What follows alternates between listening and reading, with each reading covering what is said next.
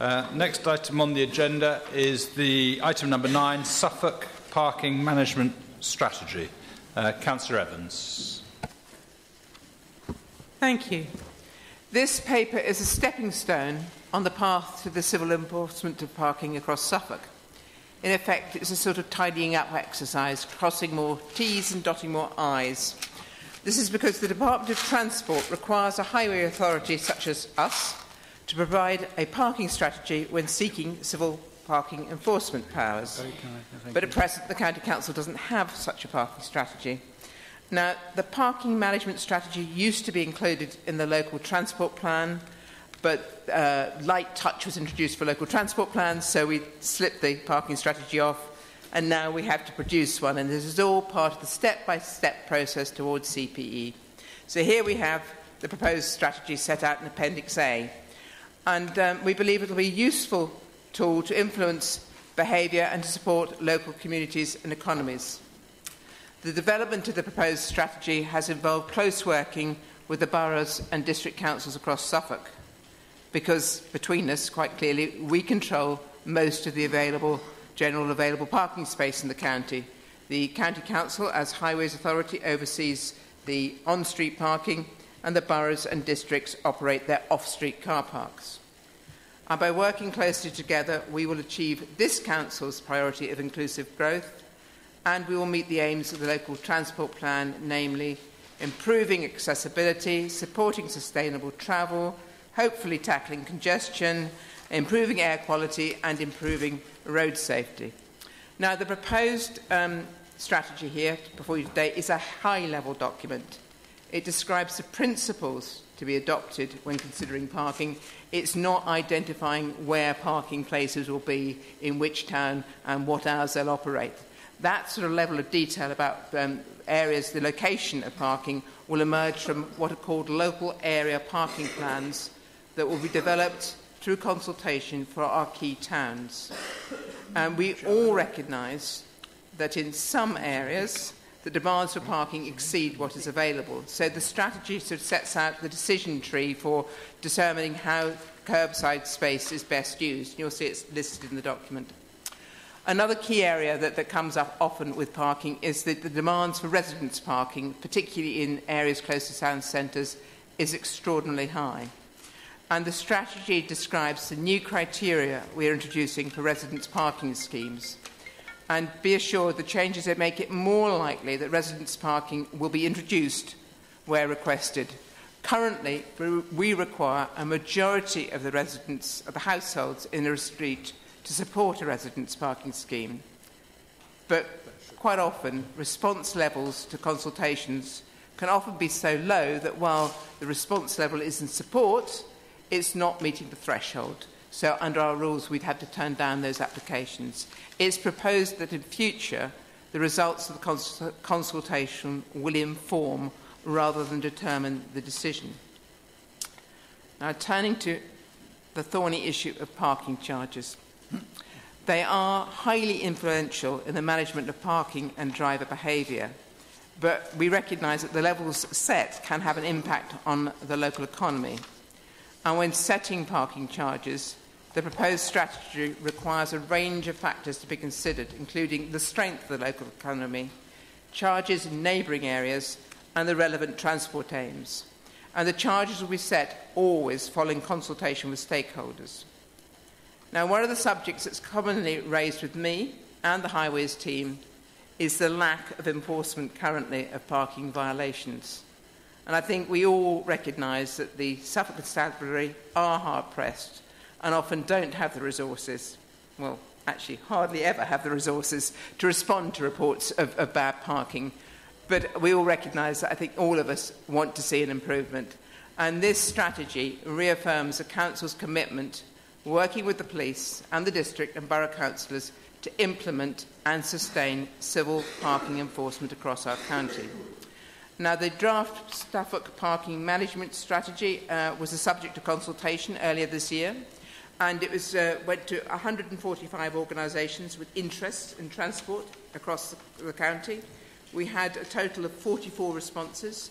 The majority were um, greatly supporting or supporting of it. Uh, There were some very useful comments that have been picked up already and, and woven into the, the, the draft before you. Um, they also deal with the main concerns. So the, one of the big concerns were about the imposition of parking charges in town centres. And the strategy recognises that parking charges can have an impact on the local economy and it sets that this must be, considered when setting parking charges.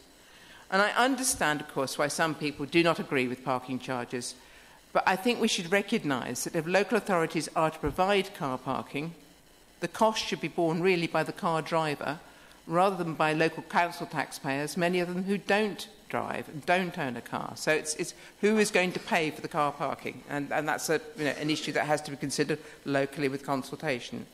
The consultation also provided some helpful comments, as I say, they're in there. But in summary, we need to adopt this parking strategy to satisfy the requirements of the DFT in relation to our application for civil parking enforcement. The proposed strategy sets out the principles that will be adopted when considering parking and these are consistent with the aims of the local transport plan and were generally supported when the strategy was subject to consultation. So I commend this document to you and ask you to, to approve the Suffolk parking management strategy and append it to the local transport plan. Thank you very much, Councillor Evans. Uh, do any other Cabinet members wish to comment on the paper? No? Happy to open it up. Yes, Councillor Beer. Um, thank you, Mr Chairman. Um, well, whilst I do support the, the whole process here, and we have to go along with this, uh, I, I think it's fair to say um, that I, in particular, have never had any motorists, pedestrian or cyclists in the Sudbury area complain to me about bad parking there. Um, and it is congestion of traffic we have in Sudbury and that, that part, uh, rather than, say, bad parking. Um, but I'm pleased to hear that you're certainly going to um, take on board residents' parking, because that is a concern that uh, parishes, as well as the towns, uh, have asked for in some cases. Um, but could I also say that in the Sudbury area, we need a multi-storey car park. And I was at a meeting and I voiced this the other day, which I know the district council would have to pay for, and they would have to charge in that area and there was no real um, objection to that being charged. Mind you, I would just remind you all that uh, in the uh, Babergh District Council area, we do not have car parking charges, um, only if you're parking somewhere after three hours, I think it is, that there is a, a small charge come into play. So there's lots of ways it can be done, and I'm pleased to hear that you're going to look at all these before any decisions are made. But uh, certainly, um, I can look forward to Christmas not having to worry about where I park quite as much as I would do if you had your uh, regulations in process. Thank you. Thank you very much, Councillor Beer. Uh, yes, do you, want, do you want to come back on anything? No, Councillor Soons, over to you. I'd like to say I really welcome this. Um, I represent 20 villages south of Bury where parking can be significant and a significant problem for people. And of course, police are out chasing serious crime um, and, and don't have the resources always to, to come and uh, attend to parking problems. And we have instances of parking on the pavement, which is a real problem for some busy villages when, when school children try and get out. So, you know, it's great that we're taking this on board and you know, taking it to this level, and I commend it. Councillor Finch. Thank you, Mr Chairman.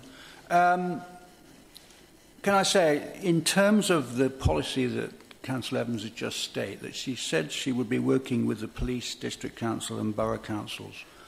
Um, it's my understanding that the police don't want to be involved in this particular exercise. And so what role will they have in the future? Because it's the enforcement of parking. There's not a problem of parking with residents in Sudbury because nothing is enforced in Sudbury and you park where you like on double yellow lines or wherever. Going forward, I'm assuming civil parking enforcement means just what it says, and there's enforcement of parking by somebody, whether they are parking attendants, but they are enforced by the local uh, council's employees. So where do the police come into this for the future? Um, I, I was actually talking about working with the police, the boroughs and districts on the implementation. We are still away from impl- implementation. So I was talking with the Police and Crime Commissioner today on the efforts we are putting to make sure that we get this through, that we get the permission to move to civil enforcement of parking. So that's not, all, not Mr Chairman, I'm going to come back. So it's nothing to do with enforcement afterwards. Not really. We'll be, I'm talking about working with the police to get this implemented. We're, we're still a, you know, a stretch away, and we've got to narrow that gap and get to the day when that paper is signed off in Parliament and we move to civil enforcement of parking. Uh, Councillor Stringer, you were next. Thank you, Chair. Uh, yeah, I'm glad to see there's, uh, there's now a written hierarchy in, in here of how we use curb space. I think that's very helpful. You know, to allocate uh, first to buses if they're needed and disabled people, etc., etc. I think that's a big move forward. I, I actually think in paragraph 60, uh, I've thought about this overnight, it, it is probably a really, really missed opportunity uh, to suggest that at present the technology for electric charging points in our street furniture is, is not been sufficiently tested for a policy to be formulated, I really think doesn't help us in the aspiration to be the greenest county. We've been putting electricity in street furniture for 100 years. Uh, it is nothing new. We have two manufacturers of this technology in Suffolk. The fact that we don't able to be able to formulate a policy in this, I think, is actually missing the trick. Actually, I slightly take account that if the electrification of road transport goes ahead as many perceive, actually cars may not be perceived as so much of the nuisance and polluter that they are. They'll actually be mobile power stations. So them connecting up into towns and cities will actually make them part of the resilience of the local grid. So actually, I, I think we need a policy that's fit for that future. So I think it's a very good policy from where you started.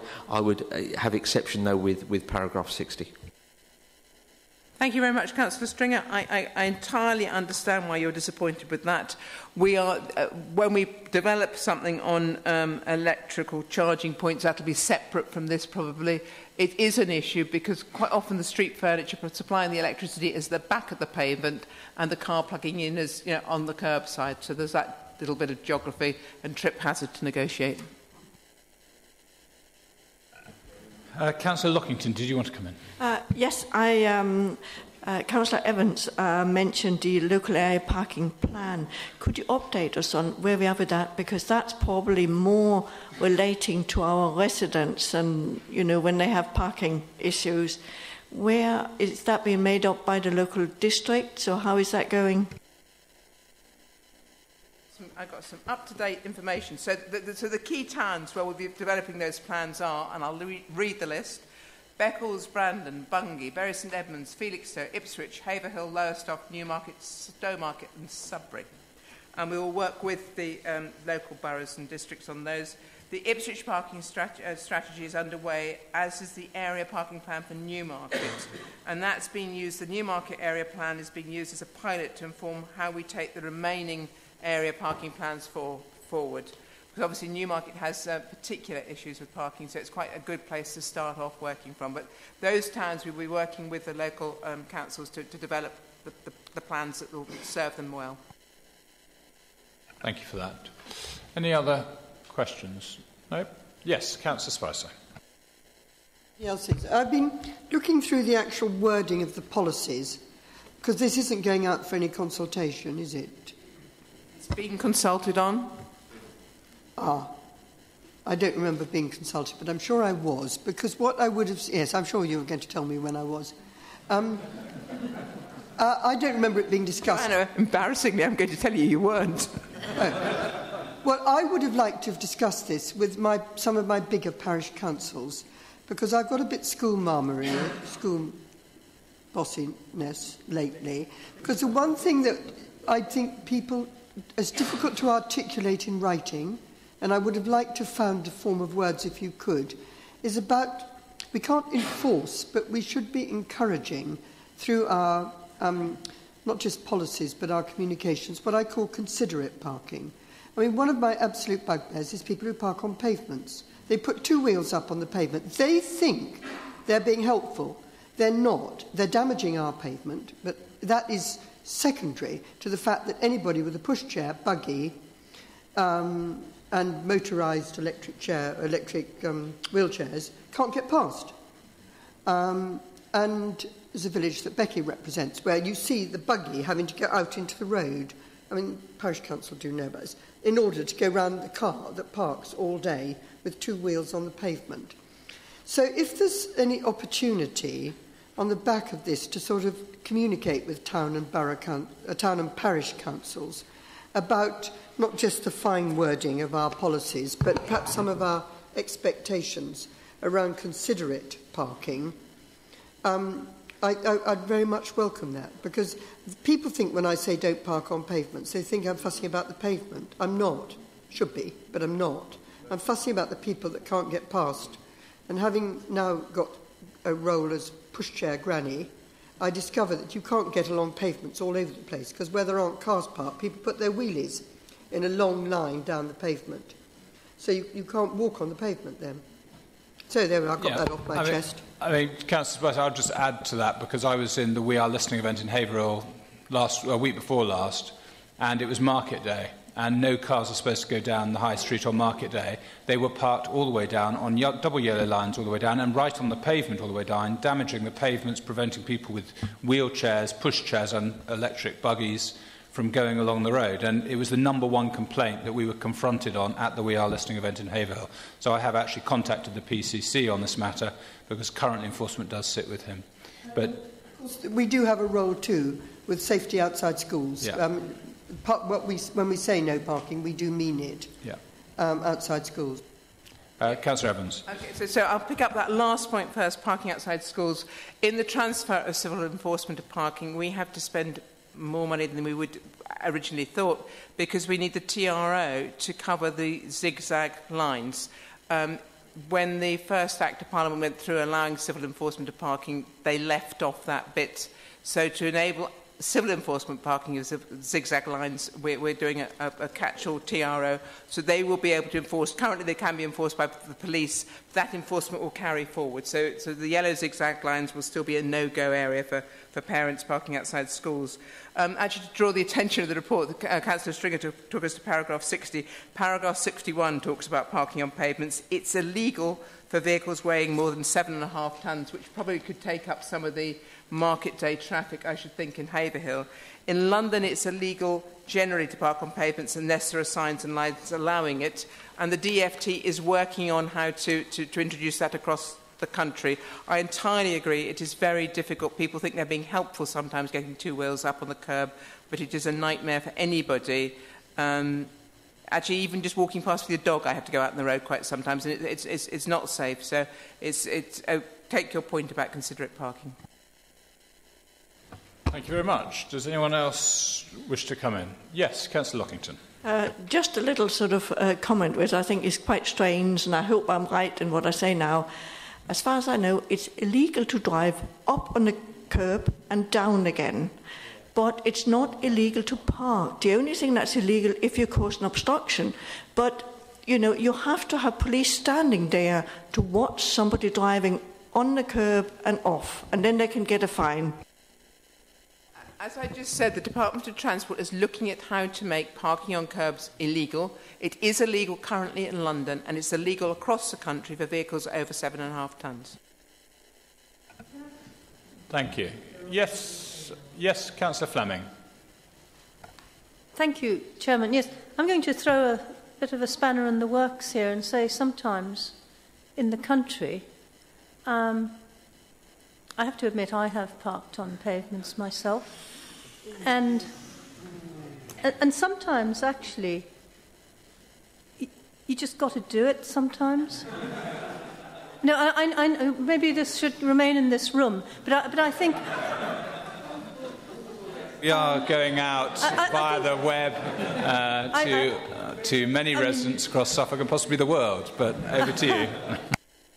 I, I think a certain amount of flexibility, taking, I mean, you know, seriously, um, taking into account the rurality and the state and width of some of our roads, that I can see a, um, a very rigorous enforcement policy coming from districts could, could really backfire. I, I, th- I, think the realities of civil enforcement of parking is that in future the districts and boroughs won't be employing people to drive around country lanes trying to catch you, Councillor Fleming, having parked on a curb. I think you're pretty safe for a while yet. Um, the, the, the, reality is, is, is that the, the, uh, parking enforcement will be in the most congested, most parked up areas to make sure that traffic flows easily and that um, you know, parking is considerately done and that people can go about their business easily without being you know, held up by a car parked in the wrong place or a van parked in the wrong place.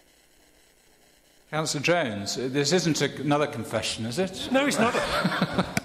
uh, no, no, no, no. We do those in those little boxes and things. Um, though um, I'm going to give the contrary view to uh, Councillor Fleming in that uh, uh, I'm, I've got a meeting uh, with my counterpart from across the river uh, in, in Essex. I from, um, from Dedham, uh, which um, adjoins uh, Stratford St Mary. Uh, Dedham is a uh, really uh, popular place, especially in the summer. Uh, and we have a significant uh, uh, parking uh, issue there, which we are trying to resolve. And bringing in some parking regulations will, will, will assist in that. I know it's a, it's a way off, Uh, but at the moment, because of the inconsiderate parking and because there are no parking restrictions, uh, emergency vehicles on a warm summer's day probably could not get through that road. And that is a concern to a number of uh, residents. So I, I welcome uh, these changes. Thank you. Point well made. Um, any other points or questions? No. So, Councillor Evans, over to you. Can you just confirm what Cabinet's being asked to uh, decide yes. today? Please? I'm asking Cabinet to adopt the Suffolk Parking Management Strategy and agree that it is appended to the current local transport plan, and secondly, to de delegate the authorisation of the final wording to the Director for Growth, Highways and Infrastructure in consultation with the Cabinet Member for Highways, Transport and Rural Affairs. Thank you very much. And can I ask a Cabinet member in favour of the recommendation? Can we have a show of hands, please? Yeah, that's unanimous. Thank you very much. Uh, the next item uh, is item number, in the agenda is item number 10, 2018-2019 forecast revenue and capital spending. Over to Councillor Richard Smith. Thank you, Chairman. This is the second uh, of four reports covering the performance uh, during this financial year. And I bring uh, Cabinet a small good news story. It's small in that we are moving in the right direction the overspend predicted at the end of the year has come down from 8.6 million at the end of quarter one to 7.5 million at the end of quarter two. And I do want to pay tribute uh, not just to uh, my finance officers, but to the hard work that's being done by staff throughout the organisation to identify extra savings, cost savings, which can be made. I have um, some optimism that uh, at quarter three and at the outturn at quarter, quarter four, we will come down a little more, but I cannot say that we will come in directly on budget this year. We're all aware of the pressures on uh, local government finance, um, which are illustrated most graphically by Northamptonshire County Council, but we are now trying to learn lessons from what's happening in East Sussex County Council, and of course the uh, list of those counties, especially which we know are having some financial difficulties, is a growing one. So we're doing all we can here in Suffolk, um, and uh, I am slightly embarrassed that one area that's overspent is the corporate services area, which I bear direct responsibility for, and I have been looking into that and will continue to uh, pressed to bring that deficit down. It has fallen in the second quarter. Um, but part of the reason for that is we, de- we did set some high income targets, indeed stretched income targets uh, for some areas, and we are not going to, uh, to, to achieve these stretched targets. Um, and we will, make, we will learn lessons from that so that when we come, uh, as we will be shortly, uh, to publishing the draft budget for next year, the targets that we set for income will be more realistic and achievable. Um, the area, particularly where we stretched, uh, put in stretch targets, was uh, our wholly owned companies. Uh, now, our wholly owned companies are doing well and they pay us a good level of dividend. When we look, uh, for example, at North in Essex, uh, in, in Norfolk, I'm sorry, um, they're a much bigger company than Vertas, at least three times bigger than Vertas, and they actually return a smaller um, dividend to Norfolk County Council than Vertas does to us. So I think we've asked just a little too much for those companies, and we will learn those lessons in future years. There's plenty of uh, um, figures in this report, and I'm happy to try and answer uh, questions on them. But uh, the report covers two other areas too, and that's one is violence, which we normally just pass over, and I, I, I think quite rightly too, because they're just moving one part of the budget from one area of the county council to another. The details, which are actually less this quarter than they normally are, are in Table 9 on page 222. Uh, and really, um, the, the biggest item there is to do uh, with pay costs. Uh, when the pay settlement was uh, agreed, it was thought it would be 2%. Well, for most staff, it is 2%, but I think quite rightly, when the details of the settlement came out, it was realised that it is, a, it is a bigger rise than 2% for those on the lowest grades, and therefore overall is costing us more than 2%. And hence why these figures are being redistributed. Uh, the other part uh, of the paper deals with Treasury management practices. Now, there is a statutory duty for this Council to report to Cabinet twice each year on Treasury management practices. I have said in the past uh, that I have looked into this in detail, and I believe that our Treasury management practice is of the very highest order. But I would say to you, you don't need just to rely on my opinion, because it's also the duty of the Audit Committee, once a year, to look in detail at Treasury management practices. And uh, the Audit Committee, the Chairman of the Audit Committee, has the right, if uh, she wishes, to come to the full Council to draw the full Council's opinion to any uh, problems in that area. Uh, but I believe we are well advised. We have a small staff who act extremely well, and we can be proud of what we are achieving in this area uh, to keep the risk factor as low as possible uh, to Suffolk County Council. Uh, that's really all I want to say to start with, Chairman. I don't know if any of my colleagues want to chip in uh, with a few words about their own areas. Councillor Jones. Um, I don't. Uh, I don't propose to uh, cover uh, ground which I've covered uh, previously, but children's services and um, special, and certainly special education needs as far as education, is very much a demand-driven service, and um, we uh, in Suffolk, like almost every other authority um, uh, across the um, uh, across the country, has seen demand rising in, in both those areas. Uh, and so I think it would be um, surprising if there was any uh, significant change between um, um, quarter one and quarter two.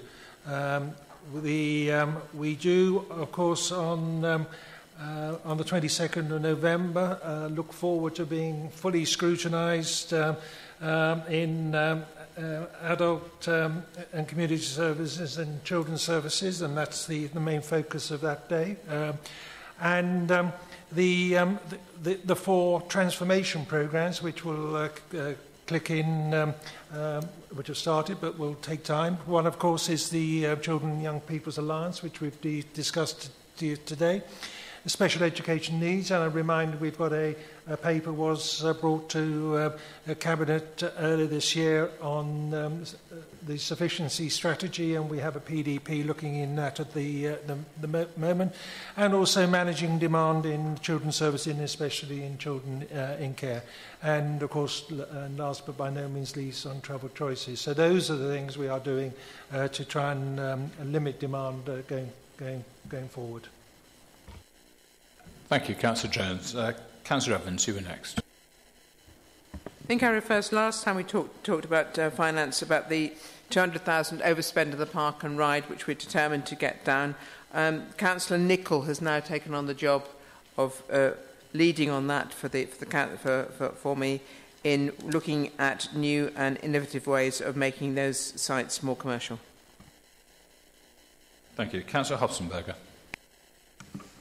Thank you, Mr Chairman. Um, ACS is reporting a um, improved position um, in the second quarter um, by £1 million. Um, and I'd just like to point out the overspend is actually only 0.2% of the overall budget. Um, and most, whilst most of the improvement has come from reduction within um, a care purchasing, um, also underspends in um, other areas, um, particularly with regards to um, the staffing budget. Um, that care purchasing um, forecast is, as Councillor um, Jones has already mentioned, is, is a health warning. We are overspending, but the um, Learning Disability Transformation Programme is already um, seeing fruits of its um, transformation in, in that it's reducing the LD um, care purchasing spend, which has helped with those figures. But you will see by that paragraph 17 that we are already um, providing extra, care, extra hours of care per month in home care um, which is up for up to 16,000 from 13,000 in quarter, in quarter one. So we are st still seeing a, a huge um, increase in um, not just LD but in general elderly um, uh, population with regards to our care purchasing budget. So um, we're, we're um, working well but there is still the health warnings with regards to the care purchasing forecast and our demand management going forward. Thank you very much. Uh, next was Councillor West. Yeah, thanks, Chairman. On a much lighter note compared with adult social care and children's services, you will maybe have seen on page 219 in Table 6 that waste and infrastructure um, is projected to um, be £200,000 below, and this is simply because during the dry summer, uh, far less garden waste was placed in residual bins, um, therefore leading to a saving. So I think that, that's one sort of um, upside of um, warming climate. So we hope for many more dry summers in the future to make some small assistance to the budget. Thank you very much. Anyone else wish to come in? Yes, Councillor Rout. Uh, thank you, Mr Chairman. Um, where the dry climate gives uh, on one side, it, it takes away on another, I'm afraid. Um, my comments are going to echo those I made in quarter one, and I, I really make no apologies for doing so. Um, I don't want to pass up the opportunity to highlight once again the excellent work of everyone at Suffolk Fire and Rescue Service, whole time, on call, yeah. and support services who were tireless in their efforts to keep us safe during this um, unprecedented hot spell, and of course to pass on our thanks to the on-call employers and their families. Um, this did, though, result in additional expenditure on on-call um, hours and associated repairs to vehicles um, and, and more maintenance costs as well. And there's also some additional expenditure which is incurred in part as a result um, of the response to the pilot inspection earlier this year. Um, that's all re resulted in a small cross-directorate overspend, Mr Chairman. Yes, Councillor Smith. If I may just come back, um, I, I, I said earlier that I, I paid a tribute to the finance staff and to staff in general. I think what we've heard here is that I should pay a, a tribute to my um, uh, cabinet colleagues because we all are singing from the same hymn sheet. We all know the difficulties of keeping to budget and what will happen if we don't. Budget overspend has to be funded from somewhere.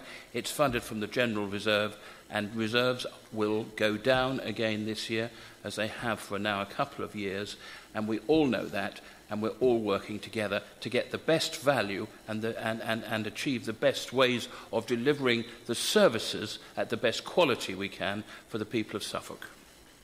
Uh, very well said. Um, anyone else in Cabinet wish to speak? No. Open it up to the floor. Yes, Councillor Lockington. Um, yes, on the top of page 215. I just have a, a question there, and if you can't answer it now, can I have it later? It's about with about half the number of customers waiting for home care compared to a year ago, but without knowing whether it's one person now and two last year, or whether it's 20 or 25, it would be really good to have some figures for that. uh, last year, uh, Councillor Lockington, it was in excess of 200 people. It has been as low as 49 um, and tends to be around about 80 or 90 people waiting now, um, which some people are waiting for new services, some people are waiting for a different package. But we have, uh, I think, 3,000 people using care to give you a sense of how many that is relative to the numbers of people getting home care. You want to come back? I just Yep. come back and you said some people are waiting for a different packet. I would imagine they still would have the package they have until the new packet come. In a number of those cases, exactly. There, there's something changed, something different. They maybe want a different provider, so they're getting care, not getting no care. Thank you. Anyone else? Councillor Stringer, then Councillor. Thank you, Chair. I Just want to touch on uh, something that Councillor Smith and then Councillor West said, and probably uh, counter something that Councillor West said. Uh, the, uh, I, would, I too was uh, surprised to see the uh, shortfall in, in income and, and the stresses in the corporate services department. That, that did cause me huge concern. Especially when the strategy seems to be not filling some of the vacancies and still trying to drive out some of those savings, etc. That's, that's a concern if, if they are the very people that can deliver those savings for you. So there's, there's a challenge there for you. I just want to, I'm, I'm sure it's not news to you, but I just point out that tension. Uh, actually, slight, uh, going on from, from Councillor West, I mean, where I come from, garden waste is, is actually charged for. So I, I couldn't see how that 200,000 saving could be attributed to the warmer weather. What we can uh, attribute to the warm weather is, of course, the, the, uh, the overspend in, in the fire service. And I think it would be interesting in the future, in the interest of transparency, um, and in the spirit of us trying to be the greenest county, that actually we start publishing a line of what a changing climate is actually costing this authority in terms of overspends. Because we'd be able to get clear sight of what it's actually costing, rather than it being, as it were, you know, muddled in with a heap of, heap of other costs. Uh, because, you know, we, we could then end up with the case where we, we look at uh, an invest-to-save model, not only for our own finances, but also for our wider planet, as well as being able to explain to the public that this thing is actually costing us some money. Uh, so I'll leave that with you. Thank you. Come back on the waste element of it.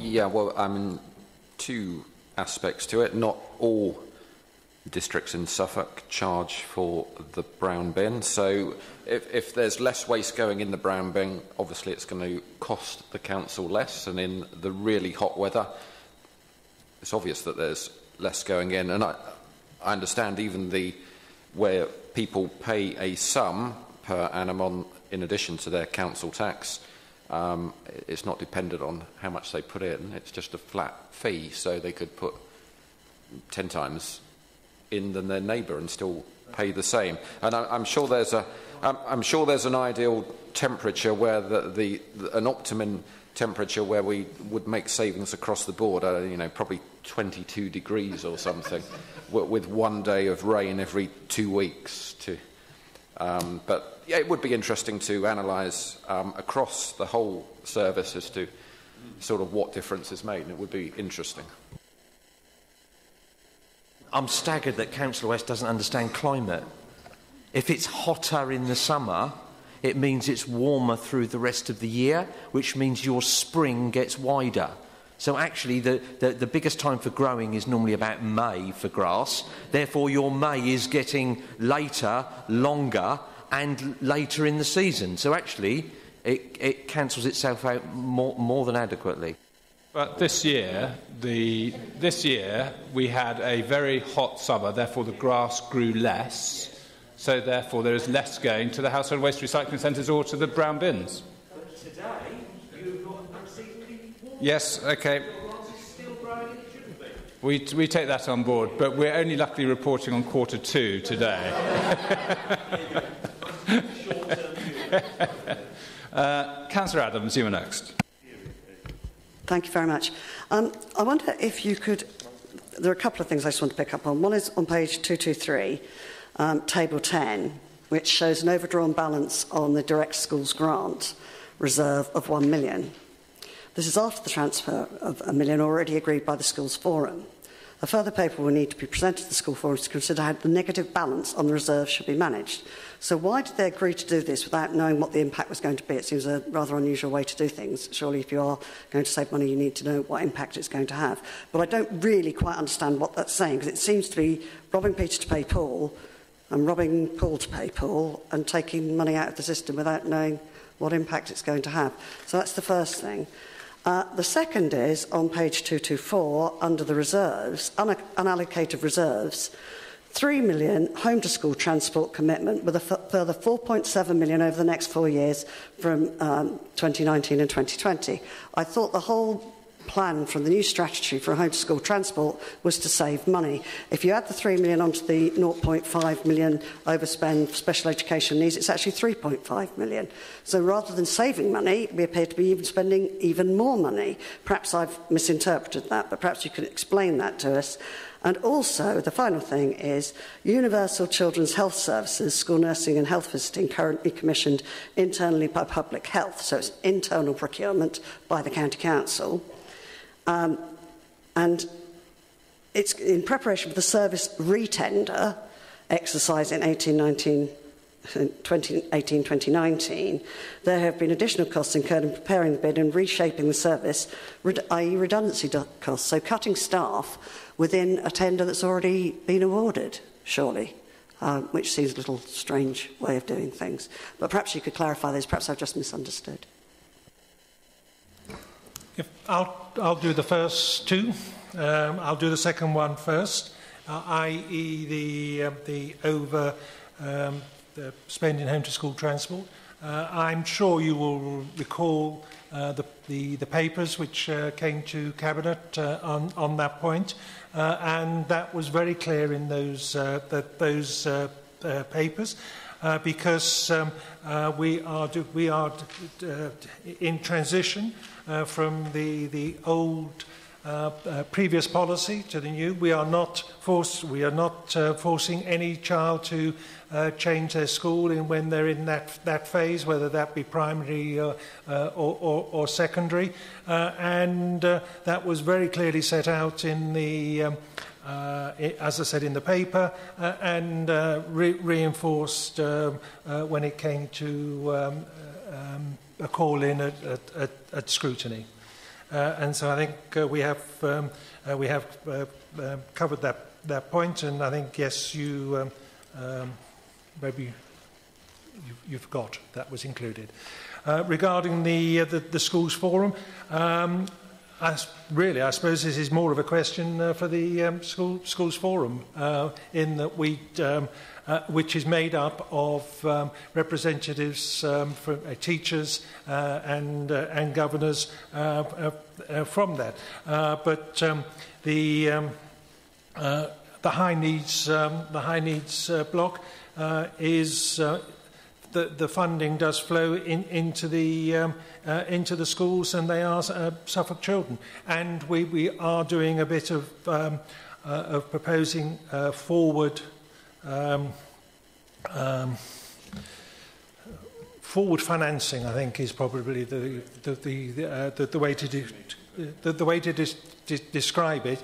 In that, um, um, um, and Schools Forum have have agreed this, so that um, um, the, you know, the the Suffolk children who are in need of this um, uh, get uh, the uh, uh, get the provision um, that, um, uh, that, they, they, that they require. And so the Suffolk Forum have, agree, have uh, agreed a transfer from the, um, the main block to the high needs block. And uh, I don't know whether you want to add any more to that. No. Do you want to come in, Richard, at all? Uh, well, I agree with what uh, Councillor Jones has said. Certainly on home to school transport, the, the policy that we agreed at the end of a day and the end of a long consultation period was to provide some extra funding in the short term uh, to, to achieve savings in the medium term. And that is exactly what we're doing. Uh, and uh, the, the other point I want to make about the dedicated schools grant and it showing an over uh, an overdrawn position is part of that, I understand, is that that money is being used to help achieve the ambitions of the SEND transition programme. And as that programme comes to fruition and provides its, its results, uh, that money will be repaid. Thank you very much. Anyone else wish to come in? No, Councillor. Ah, sorry. Did I? You've got universal health stuff, do you? Oh, yes, sorry. Councillor Reeder. Yes, your question about the, uh, the re-tender. Well, as you know, that has only just um, been announced that it's been successful for Suffolk County Council. Um, obviously, when looking at a tender and all the work around it, there's been considerable work in doing that. And also, with the, with the new um, tender com- or the new provision coming within Suffolk County Council, there will be members of staff from the other organisation being 2 in, and the restructure will be looking to, to see how um, uh, those people fit in, uh, and there may be re, uh, redundancy costs for the whole system. So um, I think it's quite prudent that that has been put in there. Thank you. Yes, Councillor Finch. I'm aware that this is outside this um, particular timescale of this paper, but it could be worth asking, are we, do we have any indication as to how County Council will benefit from the most recent budget announcements? Um, work is being done on that now. I actually just this morning uh, had a look at the draft paper to go to the next scrutiny committee, when obviously the budget will be um, uh, looked at in uh, cons- considerable detail, especially ACS and CYP. Um, it's marginal. I think there is a little bit more money uh, from the Chancellor's um, an announcements. Uh, but the problem of chronic underfunding, and I, Gordon Jones hasn't paid me to say this, but the, the problem with chronic underfunding of children and young people's services and, and, and dealing with children in care really hasn't been tackled very much at all. Thank you very much. If there are no other questions, uh, over to you, Councillor Smith. Could you just take us through what Cabinet's being asked to decide today, please? Yes, thank you. On page 211, the Cabinet is being asked to note A, the forecast outturn position for 2018-19 for revenue and capital spending, B, that the budget is being appropriately managed by officers, and where overspending has been identified, action is being taken to address the impact, C, the significant transfers, virements in accordance with the Council's financial regulations, and D, the mid-year report on the performance of the Treasury management function. Thank you very much. Can I ask Cabinet, are we in favour of the recommendation? Can we have a show of hands, please? Yes, that's unanimous. Thank you very much. Um, Thank you. As there's no other business, the date of the next meeting is Tuesday, the 4th of December at 2 o'clock, and I've just been asked to ask if everyone could take their mugs out with them. It makes it easier. Thanks very much.